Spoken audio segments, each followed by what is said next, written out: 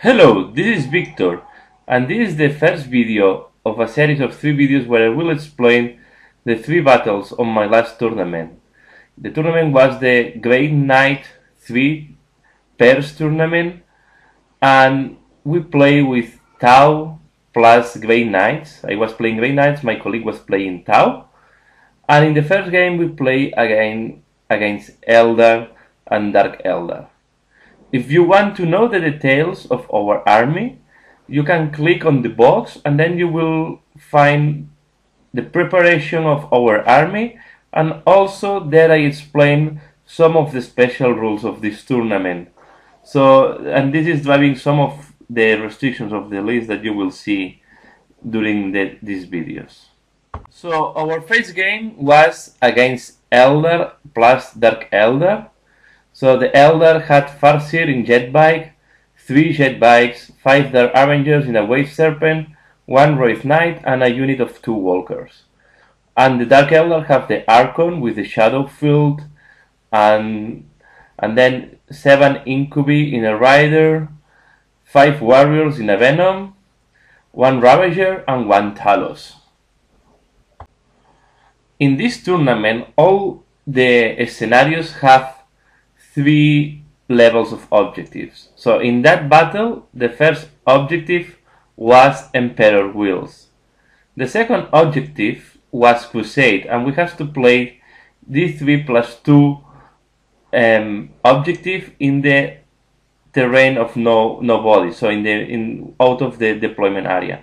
The deploy was Dawn of War, and then the third objective is the secondary objective in the in the um, rulebook. So Slaying the Warlord, First Blood, and Linebreaker.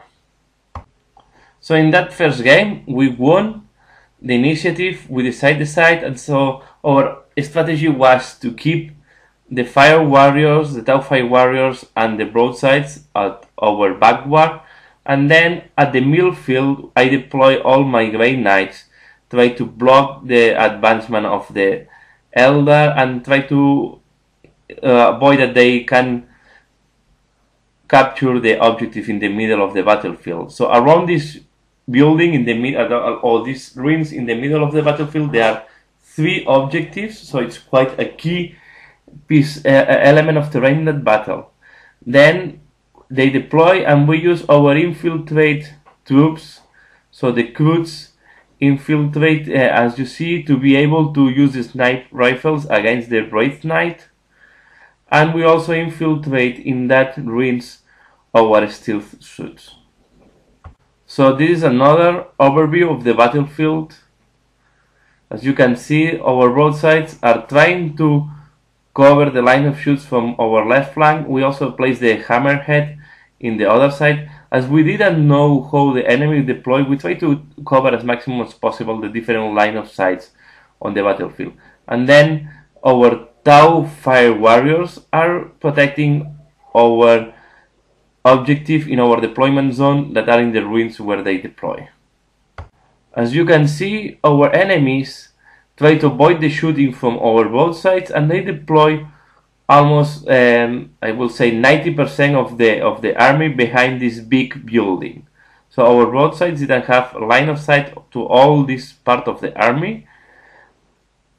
And then the Wraith Knight was the and the Wraith Knight and the Jetbikes was the only thing that they deploy in the mid of the deployment zone, so they will try to cover the objective. So this is a picture after our first movement. As you see, I move ahead with all my Grey Knights, and I try to be in the middle of of the battlefield as soon as possible. Our shooting was not very successful in this first turn. I just we just managed to create one or two wounds on the Talos and one wound on, on the Wraith Knight. And I think we killed two Jetbikes, so we didn't have the first blood on the first turn. But on the other side, our enemies shoot on, especially on my Terminators and on our stealth suits, I think they killed two Terminators, two Steel Suits, so they didn't have First Blood neither on the first turn. So one thing that our opponents did is they moved with the Raider with the Incubi and the Archon very fast to our left flank, try to neutralize our broadside. So in that way, they will avoid to have this heavy shooting from our side. So the broadsides are a big threat for them because they can kill any of the vehicles quite easily. The Wraith Knight is moving to our right flank and then just behind the Wraith Knight there is the objective, the base of of our opponents, but they didn't deploy any of the units there, so they are expecting to just to go to the objective on the last turns with the jet bikes. You see here, after the shooting phase, they use the flat out movement of the Raider to be just on top of our broadsides. So this is a big threat. The Incubi can kill very easily the broadsides and all the ones they have. The Wraith Knight tried to sh shoot to the Hammerhead, but they he didn't manage to make any damage. So they did a pen hit, but we did the Jink save. So on our turn, we try to move the broadsides far from, from the Raider, but there the movement is not very high, so they only can move 6 inches. And then in our shooting phase, we kill the Raider. So we had the first blood on the second turn by killing the Raider. I try to move my Terminators to protect the flank and, and try to block the movement of the Incubi and then we shoot to the Incubi and I think we managed to kill two of them. On the other flank, we shoot to the Wraith Knight, I think we scrap another wound to them, and I also killed the Talos with all the fire from my strike squad, Grey Knight strike squad. So I have to say that from the divination, what I have is the power that is giving plus uh, 4 plus invulnerable saves. So I was using each it each turn. So I only fail on the first turn that I I mm, do a double six, then I have a wound from that. But after that, every turn I have plus, 4 plus invulnerable save on my strike squad. Here another picture during the turn 2, you see the fire warriors protecting our objective in that ruins and the Kroots trying to shoot with the sn sniper rifles to the the, uh, the Vet Knight. Uh, sorry, the Wraith Knight. So at this point, more or less, our plan was a, our, our the battle was going according to our plan, but the big threat is so first in the second turn the Storm Raven didn't came from the reserve, and you will see that in any of my battles the the the Storm Raven come on the came on the second turn. And there is a lot of heavy shooting from my opponents from our, our opponent's side. So you, there is the two war walkers with bright lances, and then there is the ravager with the three dark lancers and there where these are the reason why my terminators are receiving quite big damage then as, a, as it was expected on the turn the incubi just move ahead to assault the broadsides. And in that side, they still use these rings to protect the main block of the army from overshooting. Another picture of the incubi assaulting the broadsides. And here in the midfield, I will uh, know I will receive a heavy shooting from my from our opponents. The Wraith Knight try again to kill the Hammerhead but again the Jink saves the Hammerhead from dying. And here the Incubi assault the broadsides. I think they kill one broadside and they, and I don't know if I think that at the end they only killed one one broadside, but the broadsides didn't manage to do any wound to the Incubi. They lost the the battle, they ran away and they were catched by by the high initiative of the Incubi so the broadsides were eliminated from the battle. And my Terminators are wiped out by the shooting of the different dark and bright lances from the Eldar. But my strike squad and the crews remain in the middle of the battlefield, and also you see in the ruins that we still have one of the steel suits alive. This is the positioning of the Incubi after destroying the broadsides and they just keep moving, try to wipe out all our left flank. So in our third turn, I move my strike squad of Grey Knights close to the Incubi to see if I, if they assault me and then I will fight with them. I don't care to be in, in, in, on the open battlefield because I have the 4 plus invulnerable save, so the cover is not giving any special thing to me. I don't need the cover. And then the Kroots just move to keep shooting to the Wraith Knight and see if we can scratch some more wounds from, from it. The Fire Warriors remain stationary in that ruins and they try to do to shoot as heavy as they can to the incubi. They will have plus one shooting because they have the five cutter there that is giving plus one shot uh, to the squad.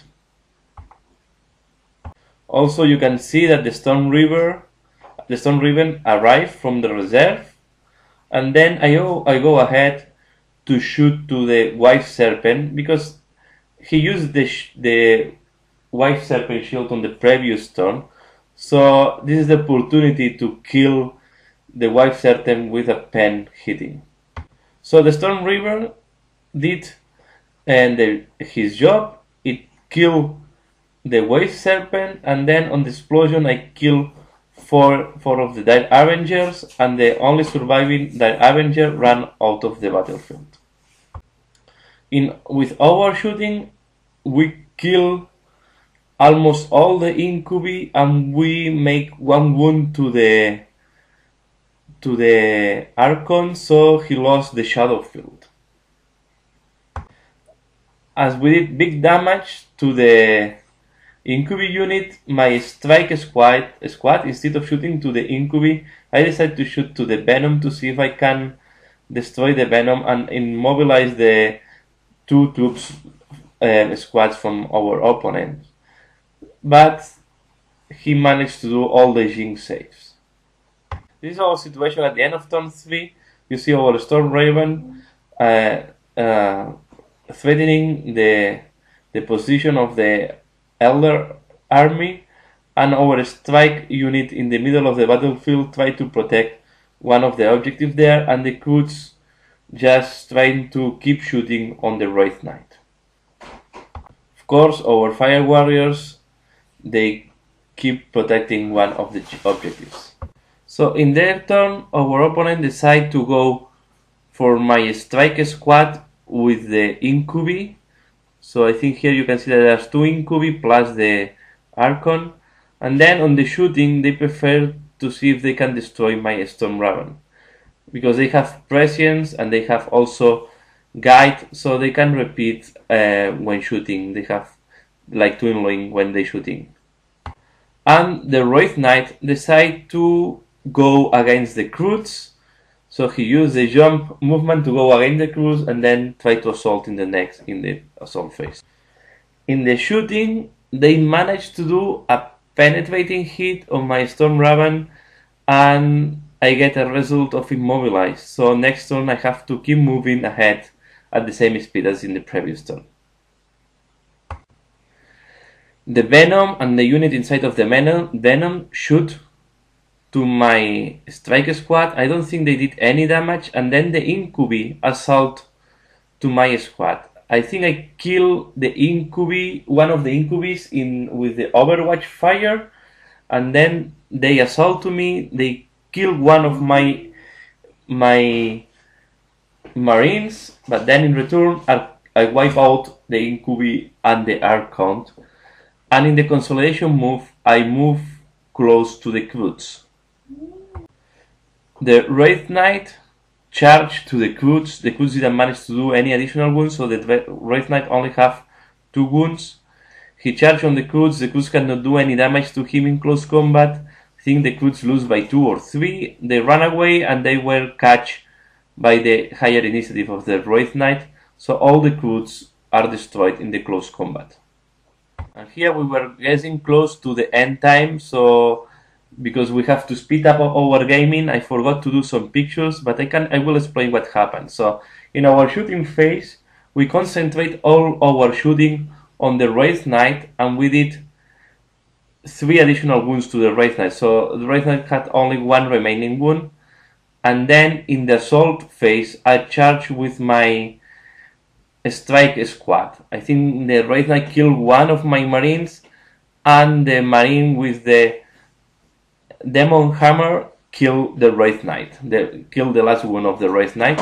And then in my consolidation move, I move enough to be 3 inches of that objective. The stealth suit that was still surviving, he tried to shoot to the jet bikes that was behind of the ruins, but he failed completely. Then he tried to assault in close combat to take them and uh, uh, avoid that they can move and capture the uh, the own target because it was decided this is this is the last turn of the game, but the steel suit die in the close combat with the Farseer and the jet bike, so they will be able to move their jetbikes. So at that moment of the battle, we have our objective control and we have one of the crusade objective also under control. And our opponents only have two tools so they only can choose to control two objectives.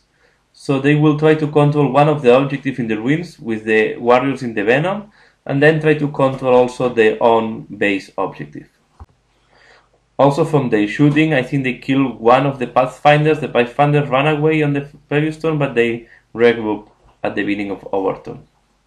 And this is the situation at the end of the turn. So the jet bikes move and do flat of movement to capture the objective that is on the hill at the bottom of the picture. So behind these ruins. And the if, uh, at the left of the picture, you can see that the Kabalite Warriors capture another objective.